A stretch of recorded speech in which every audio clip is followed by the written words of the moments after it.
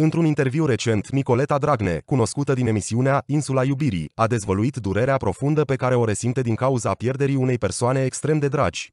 Verișoara ei a murit după o lungă luptă cu o boală gravă, iar Nicoleta a fost alături de ea până în ultima clipă. Încercarea de a trece peste această pierdere a fost extrem de dificilă pentru Nicoleta, care descrie legătura dintre ea și verișoara sa ca fiind una de superconexiune, în care durerea și emoțiile păreau să fie împărtășite într-un mod profund și imediat. Deși a trecut un an de la această pierdere, Nicoleta încă simte durerea ca și cum ar fi fost recentă.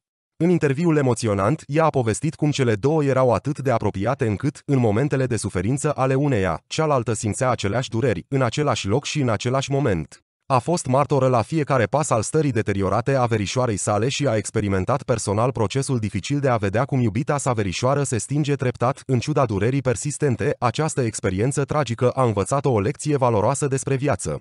Pierderea verișoarei a determinat-o să înțeleagă că fiecare zi este un dar prețios de la cel de sus. Această conștientizare a făcut-o să-și reevalueze prioritățile și să adopte o filosofie de viață mai intensă. Motoul ei actual este trăiește fiecare clipă ca și cum ar fi ultima și se străduiește să se bucure de fiecare moment ca și cum ar fi ultima zi pe pământ.